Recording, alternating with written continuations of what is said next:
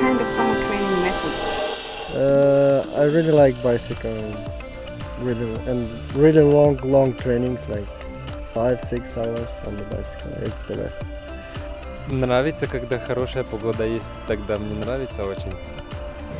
I like just roller ski.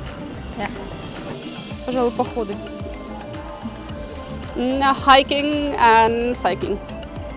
uh, running, bicycle and roller ski. А, Кататься на роликах и стрелять. In summer you can train almost everything, so you can really mix the ways, and that's the best because I I get I feel bored if I do all the same, always the same, and I like that I can change almost every day, and that's that's the best part. bicycle. Yeah, I love bicycle.